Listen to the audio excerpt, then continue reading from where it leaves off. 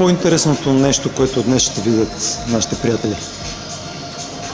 И нова информация, най-вероятно за новите символи. Не знам точно за какво ще говори Християн, но винаги каквото и да чуем от него, той е е нова информация. Всеки път, дори да си е гледал сто пъти неговата лекция, тя винаги е различна, така че винаги има какво да научим от тази лекция.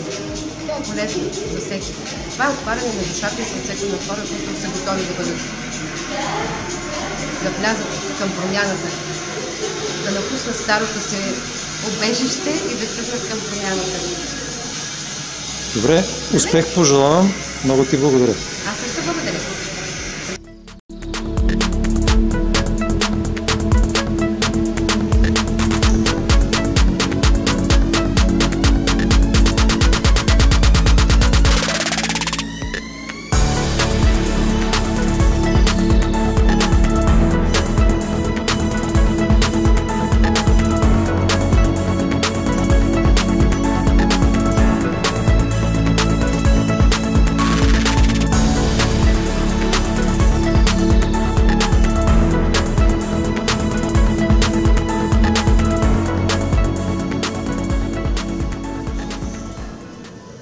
Сега ще има една опитна лекция от Кирил Стоянов, после ще имаме медитация, после ще имаме малка почивка и след това ще направим, ще ви пуснем един филм за петте аватара.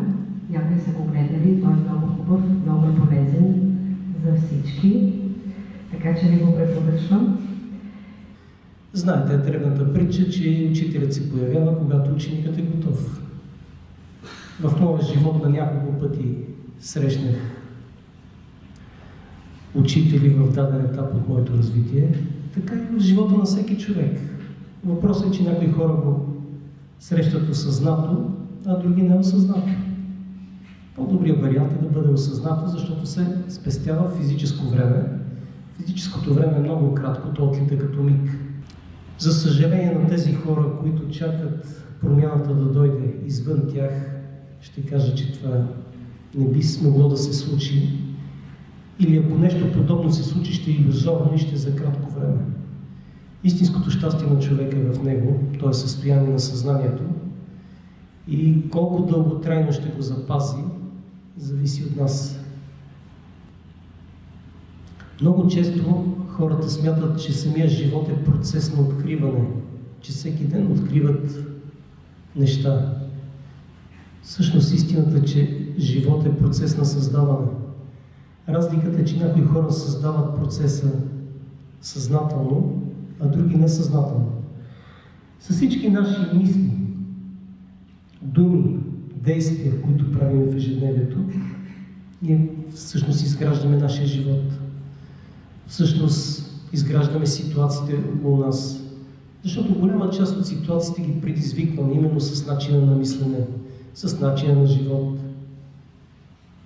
И ако тези ситуации не ни носят хармония, това е ясен знак, че нещо трябва да променим. Някои хора са достатъчно силни и се справят сами, променят живота си. Но при други хора имат нужда от подкрепа в даден момент.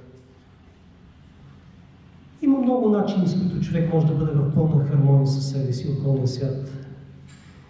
За тези от вас, които са чували, например, за метода Трейки, но не са работили с него, минимум първата степен е необходимо. Това е метод, който не трябват специални знания или умения, за да работи човек. Не му трябва нито специален кабинет, нито специална зала, но му трябва в началото, поне за първоначални знания, рейки мастер или учител. За хора, които не са отворени към рейки, отново задължително в кавички, може да си направи поне една регресия. Регресия това е метод, който е връщане към минало прераждане. Но много хора нямат ясна представа от регресията, като смятат, че само ще се видят някъде какви са били в минал живот и друго няма да научат. Истината е, че когато се прави от квалифициран учител регресията, се дава информация какво трябва човек да промени, какво трябва да отработи в себе си, в този живот, за да бъде в хармония и със себе си, и с околния свят. Защото нещата се повтарят. Много неща човек ги носи на кармично ниво и се чуди защо му се случват в този живот. Няма никаква логика от много неща, които ни се случват, но никога не са случайни. Винаги има причина. Когато човек дигне нивото на съзнание, разбира, че няма абсолютно нищо случайно в неговия живот. И едно от най-лесните, бих казал, достъпни неща, има една специална медитативна техника, която ще бъде подарък на края на днешното събитие за всички, които присъствате. Това е медитация, която е за изчистване на стрес и депресия. От стреса и депресията никой не е застрахован, но е важно как ще реагира на него. Искам да ви кажа за хора, които са се докосвали до тези бичове на съвременния свят, знаят, че ако се случи на тях, е добре колкото може по-бързо да излезе от него. Защото стреса се задълбочава, превръща се в дистрес и по-тежката форма в депресия, където хора могат да стоят с години и да не могат да се измъкнат от нея. Ума може да ни е много голям приятел, но може и да е ни голям враг, ако не го контролираме. Освен тези няколко достъпни техники, които ви споменах, за да бъде човек в хармония със себе си и околния свят, може да прави три основни неща. Това е да има чисти мисли, чисти думи и чисти действия. Когато го прилага това нещо в ежедневието, никога няма да бъде в дискомфорт със себе си.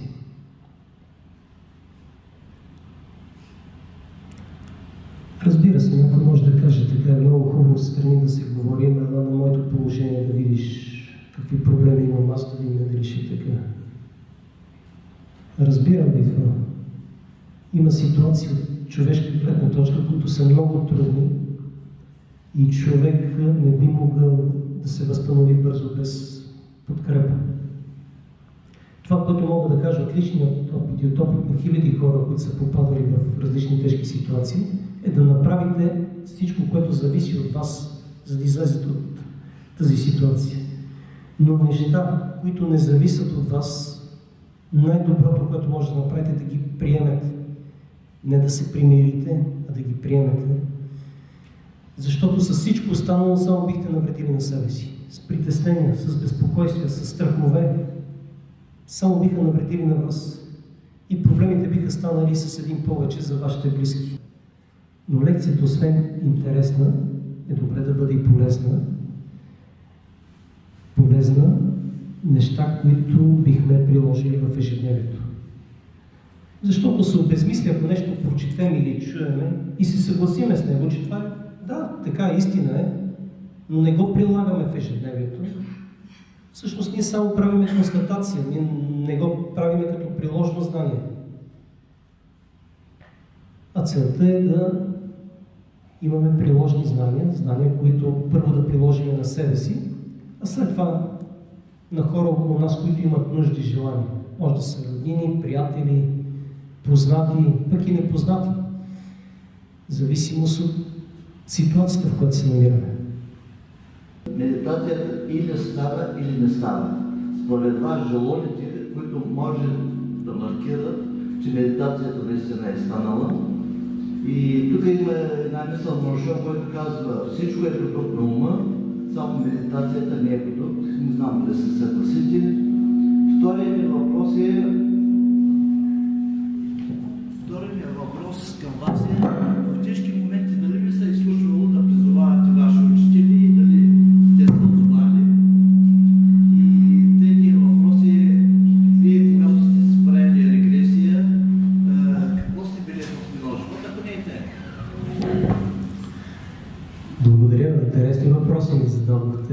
Личи си, че се занимавате с някои практики. Аз не искам да се сравнявам с учители като Ошо. Това са световни учители. Между другото, след медитацията и кратката пауза ще има един филм за пет световни учители аватари, които са променили живота на милиони хора. Един от тези пет аватари е именно Ошо. Но съм съгласен, защото медитацията всъщност освобождава и ума, и тялото от всякакво напрежение, дига нивото на съзнание. Най-малкото, когато медитира човек, може да получи релакс, да изчисти напрежението от себе си. Но ако е по-сериозен в медитацията, то не е трудна техника. Много хора смятат, че трябва да стои да медитира с часове. За европейци и американци 20 минути до половин час на ден е предостатъчно да поддържа добра форма, добра кондиция да бъде. Втория въпрос беше дали съм търсил и аз подкрепа от моите духовни водачи. Еми, няма човек, който да върви по този път и да няма нужда от подкрепа. Като по-млад учител и се, когато се срещах с даден проблем, веднага медитирах върху него. Отговор идваше светкавично. Хора, които медитирате, знаят за какво ви говоря. Обаче и там е етап на развитие. Дойде един момент, пак се изправих пред трудна ситуация и смятам, че пак ще е същото. Ще си направя медитация и ще дойде решението. Но се появи тогава духовен учител и каза, ти си вече на достатъчно ниво, учител си, сам взимаш решение. От една страна е комплимент, но от друга страна, как да кажа, човек може да се почувства малко изоставен, при положение, че има подкрепа. Но в последствие разбрах, че това е за мое добро. Тези методи са ми помогнали много лично на мен. Преди години бях много нетърпелив. Исках, ако може всичко да стане на момент. Понякога така са обърквали нещата, че ако съм изчакал малко, много по-добре ще да се реши. Още един въпрос имахте. Дали аз съм си правил регресия? Да, и какво точно ви се е дал на живота? Понякога по време на медитация, дори по време на сън, може да се получи авторегресия, но тя става спонтанно. За да се направи съзнателна регресия, за съжаление най-големият учител не може да направи сам. Правено от мои ученици, които са учители в регресия. Давали са ми различни моменти от различни животи, в зависимост от регресите, които съм правил. Повечето от тях са ми давали като учител в различни времена. Сами разбирате, че от едно прераждане не може човек да,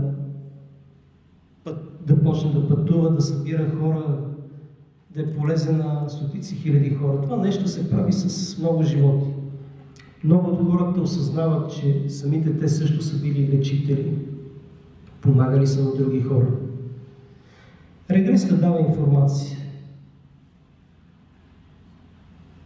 Полезна е, затова я препоръчвам. Лично аз няколко пъти съм си правил и съм доволен. В най-лошият случай, искам да ви кажа за хора, които нямате представа за регресата, че понеже се пишат някой път неща, които са далече от истината, че може да се навреди и така нататък. В най-лошия случай просто няма да се получи регресата. Но ако се получи, тук ще научите нещо важно за вас, както минало, така и в настоящия живот. Други въпроси?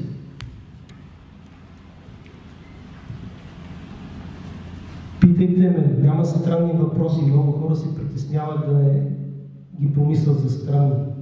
Това са древни знания. Проблема е, че не се преподават в училищата, дори в университетите. Но това нещо е от хилядолетия, не е от сега създадено.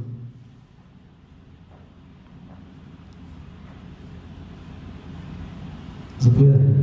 Бихте ли казали връзката на източните методики с българска методика? Благодаря и за този въпрос. Значи, тук стигам пак до делението българска, американска, индианска. Методиката идва от един и същи източник. Това, че някой народи приемат една методика по-близко до сърцата си или чрез българин, който му се подава, може чрез ченелинг, може по друг начин и се възприема, на физическо ниво може да се определи българска.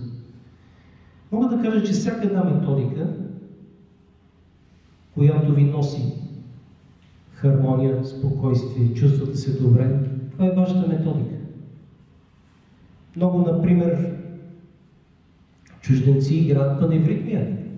Методика, която на физическо ниво е създадена от един световен аватар, който също ще видим във филма, учителя Бен Садунов или Петър Дънов. А, не трябва да ги ограничаваме, според мен, като по националност, защото при много хора егото игра и казват, нашата методика е най-добрата и само това ще правим. Това е устаряло съзнание. Света се отваря. Значи, когато нещо се чувствате добре и искате да го направите, това е вашето. За мен няма по-добър учител. Ще видите и пете аватари, те са много различни по характер, много различни по темперамент, много различни изобщо по начин на живот. Има едно общо нещо между тях. Всичките са променили и продължават да променят със своите книги, със своите знания, които са оставили, със своите клипове в YouTube, живота на милиони хора от различна националност, възраст, пол, образование. Света става глобален, земята е общ дом. Божествено право е човек, където и да отиде на земята, да се чувства щастлив на място. Но тъй като ума ни е ограничен, все още дори в съвременния свят, човек може да се почувства в чужбина, някакво чуждо място, да не кажа на друга планета. Всъщност просто начинът на живот, който са изградили местните хора е по-различен от този, в който той живее. Но всичките имат една и съща божествена искра. Ще ви дам пример с един мой ученик, който от няколко години живее в Германия. Казва, когато дойдох тук и почнах храмата, германците ме научиха наред. Но след няколко месеца аз ги научих на здравословен начин на живот. Казват, те си носиха готови брични сокове, храниха се с хамбургери. Казвам, научих ги да си правят фрешове, да си правят салатки, да дадат повече плодове зеленчуци. Казва, в началото ме приемаха малко странно, но като виждаха, че съм постоянно усмихнат, работоспособен, това ги вдъхнови. От всякъде може да научим нещо и да предадем нещо. Но за да научи човек нещо, трябва да изчисти егото. Особено ако стигне така на по-високо ниво, било учител, било някой ръководител и смята, че той е над всичко, това ще е една от най-фаталните му грешки. Защото рано или късно се приземи, падне ли човек от високо, тогава е трудно възстановяване. Всички сме едно цяло. Ето, българите сме сравнително малък народ спрямо други народи, но съм срещал българи на толкова отдалечени от България места. Там са намерили щастието, там се чувстват добре. Разбира се, не късат връзката с България. Мъж ми за близки и така нататък. Но там са намерили своето място. Човек има свободна воля. Добре е да не бъде ограничаван. Други въпроси? Питайте, не ме желайте. Не знам кога ще бъда следващия път пак Стара Загора. Заповядайте.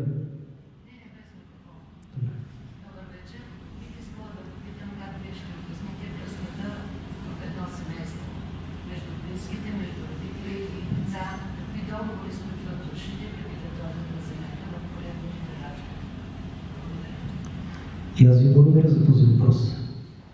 Значи, душите какъв договор сключват, човека в физическо тяло може да го разбере, ако дигне своето съзнание на развитие.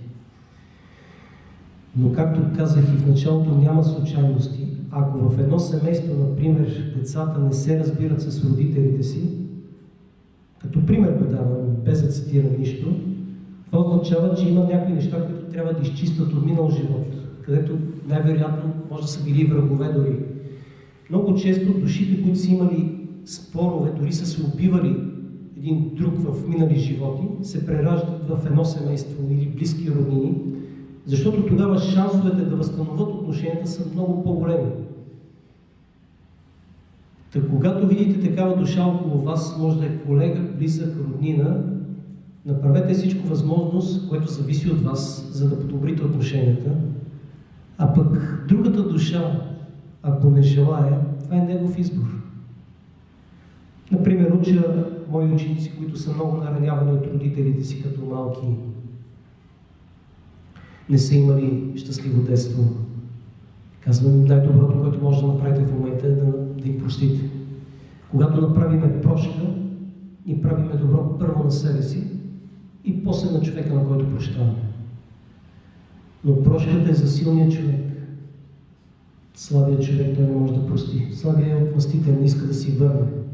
Но когато си върнем на човека, който ни е наранил, или разбирате, то пак рефлектира по някакъв начин върху нас.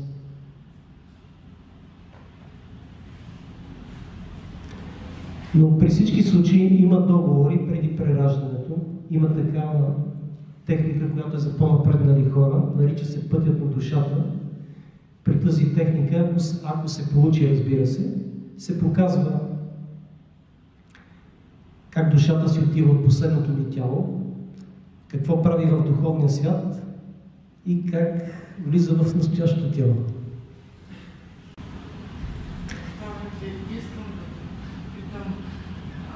Имаме ли право да поискаме прекъсване на кармична връзка в бъдещи животи с души, които сме видяли, че нямат желание да се осъзнаят и да подобрят, да стопят отношения с нас? Е, това е може би един от най-интересните въпроси, които задавахте тази вечер.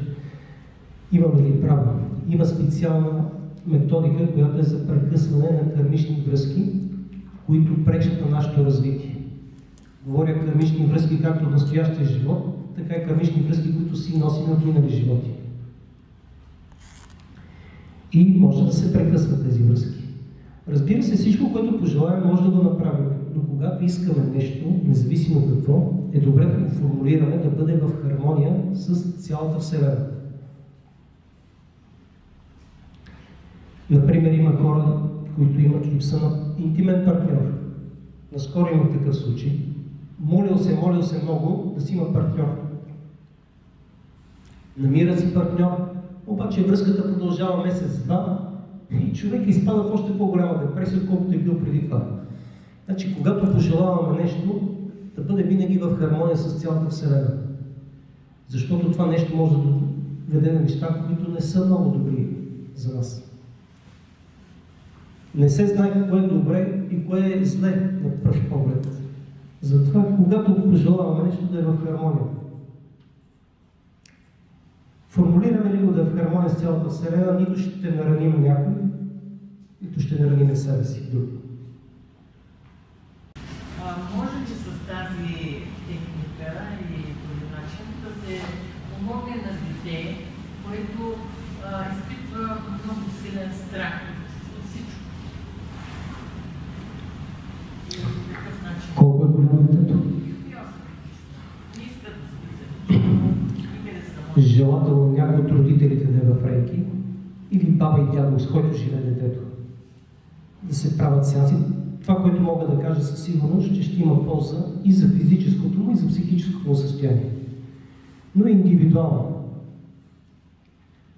Рейки прекрасно се съчетава с всяка методика. Примерно, ако се правят масажи, някакви рехабилитации на дете, може да се съчета.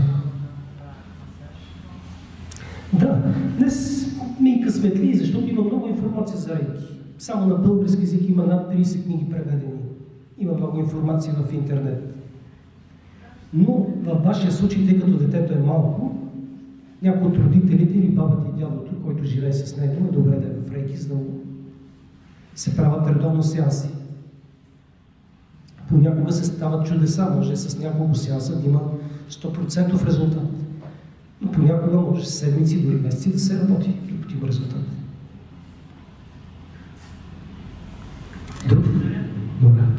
въпроси? Още нещо питам. В случаите, когато един човек е много избуклив, много търпелив, вече е напреднала възраст, нали? преминала е майка. Може ли да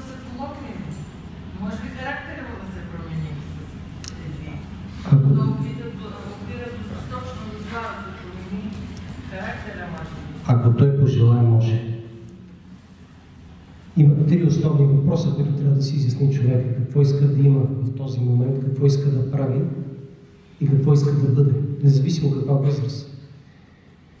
Мога да ви кажа един пример за един български предприемач в Канада.